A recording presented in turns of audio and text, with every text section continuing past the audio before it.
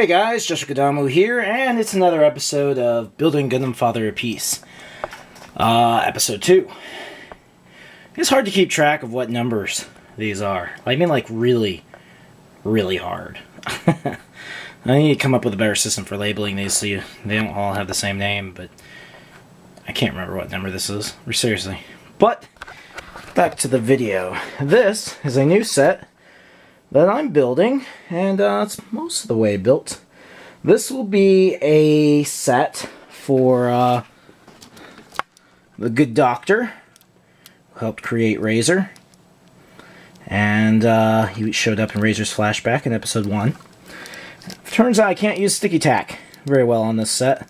Because uh, the paint that I used on this comes right off. Um, which is kind of sad.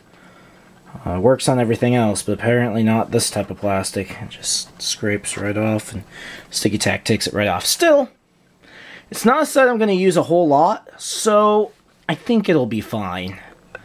Um, you know, this set might be used once or twice, maybe three times tops.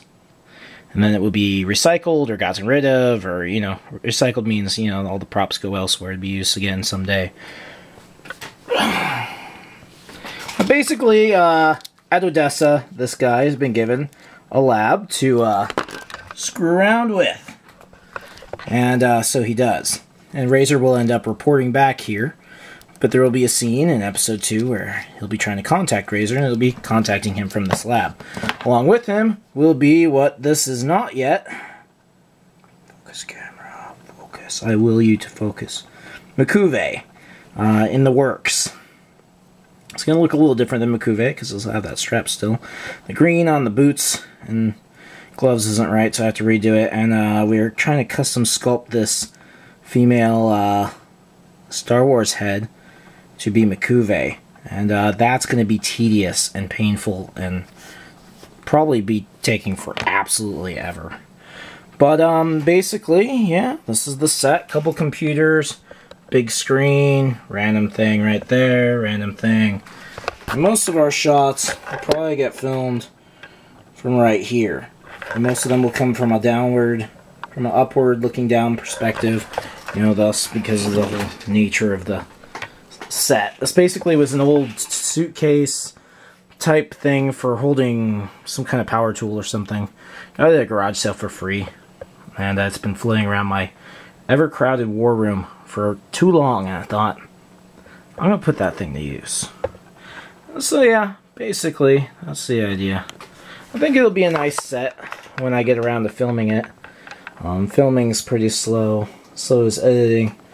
But uh, I've been building and custom building.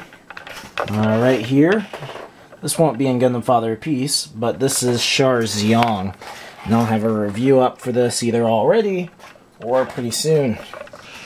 But uh, normal Xiong, Char Xiong. Pretty sweet if I may say so myself. I enjoy making customs. Well, I hope you enjoyed another short episode of Building Gundam, Gundam Father Peace. Hopefully for you guys that want to do your own stop motions, this is uh, helpful or inspiring. And for those of you just like staying up to date, you know, hopefully it's exciting. Catch you guys later.